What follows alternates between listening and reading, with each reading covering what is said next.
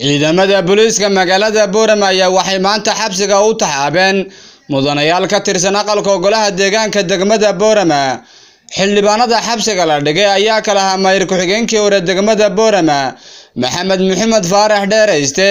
Xildhibaan mustafa xayte iyo sidoo kale xildhibaan lagu garan og yahay. Xildhibaan indhasheesheed xadhiga xildhibaanadan ayaa la sheegay inuu salka ku hayo lala xidhiidhinayo jawaad maalmihii u dambeeyeyba si weyn loo hadalhayay oo la sheegay inay ka abuurantay deegaanada bariga gobolka awdal. Ilaa iyo hadda xadhiga saddexdani xildhibaan kama aysan hadal hay'adaha dowladda ee gobolka awdal.